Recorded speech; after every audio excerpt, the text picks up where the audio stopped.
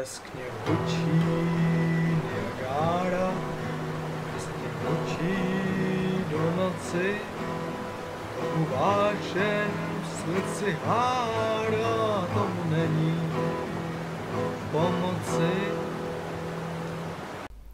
Dobrý den, tady Vladík Hruška Kako a dnes si ukážeme, jak vyhubit želvy.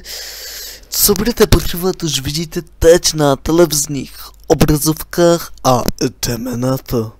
Jako první si obstaráme nějakou vodu, protože já jsem chtěl ušetřit peníze, tak jsem použil tu z bazénu a naházíme do toho tyto krajice. Ještě poslední přísada a můžeme vařit.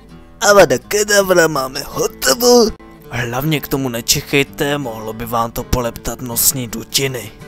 Tak, ještě přidáme, co zbylo z včerejší barby. Mhm, stále mám chuť.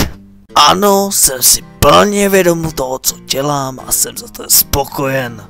Ještě tekutinu přiléme do sklenice, aby šelvy nepoznali, o co jde.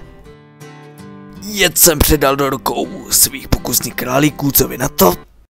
Děti, tohle mě podržte, hlavně to nepijte. No co, aspoň máme se vysílat.